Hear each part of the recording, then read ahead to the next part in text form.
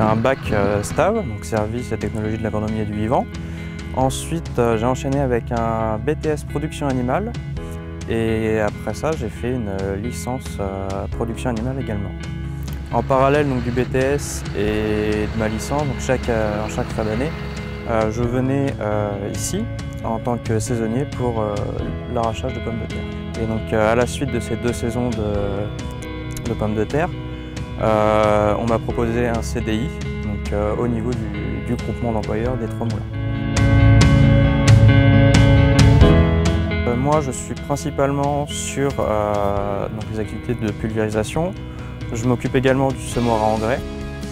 Et également, je suis en binôme avec un de mes collègues pour le butage et le broyage des pommes de terre.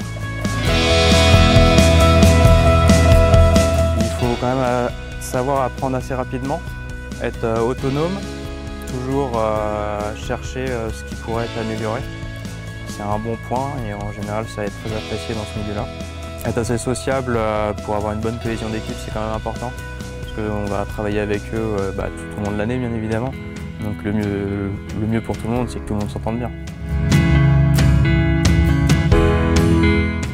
Pense que commencer par faire des saisons, ça peut être une bonne chose pour déjà avoir une idée du rythme de travail. Donc en général, les saisons, c'est quand même un rythme assez soutenu.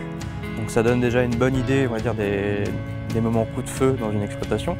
Après, ça permet également de voir si on est capable de suivre le rythme.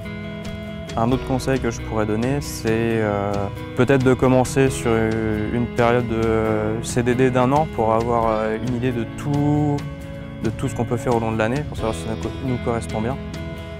Et bah, la suite, ça se passe bien, euh, passer en CDI avec l'accord des patrons, évidemment.